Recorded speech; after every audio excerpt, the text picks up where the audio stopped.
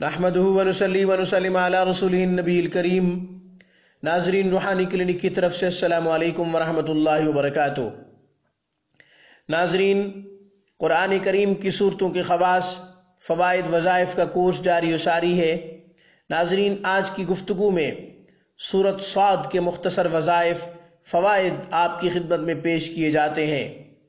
ناظرین، اگر آپ کا کوئی دشمن آپ کو تنگ کر رہا ہے ذلیل و رسوا کر رہا ہے۔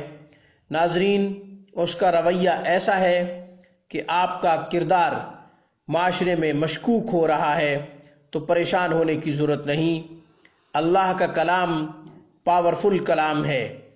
ناظرین، قرآن کا سہارا لیجیے، قرآن کو اپنا آسرا بنائیے اور اللہ جل شانہ سے قرآن کے واسطے سے رجوع کیجیے۔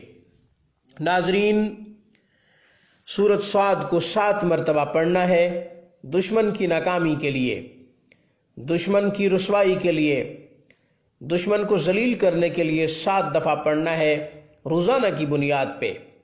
ناظرین، یہ وظیفہ اکیس یا اکتالیس دن تک کریں، انشاءاللہ اللہ دشمن کا ذہن معاف ہو جائے گا، صلاحیتیں ختم ہو جائیں گی، زبان بند ہو جائے گی۔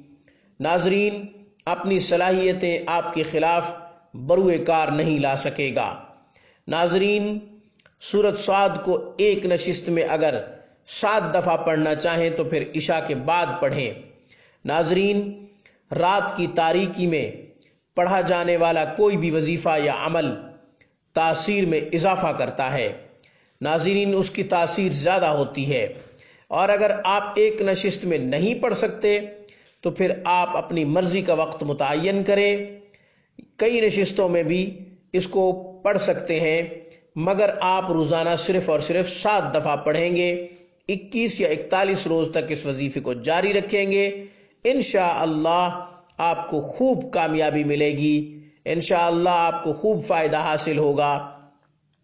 ناظرین، آپ کا دشمن اپنی صلاحیتیں کھو دے گا۔ آپ کے خلاف استعمال نہیں کر سکے گا۔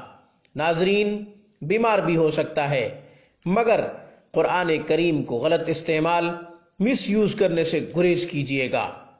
اور اگر آپ غلط استعمال کریں گے، اند اللہ خود مجرم ہوں گے۔ ناظرین، روحانی کلینک میں آج بس اتنا ہی۔ انشاءاللہ، پھر کسی نئی ویڈیو میں ایک نئے وظیفے کے ساتھ آپ کی خدمت میں دوبارہ حاضر ہوں گے۔ تب تک کے لیے السلام علیکم ورحمۃ اللہ وبرکاتہ۔ ویڈیو کو لائک کریں، روحانی کلینک کو سبسکرائب کرنا مت بھولیں۔ Thanks for watching my video اللہ حافظ، اللہ نگبان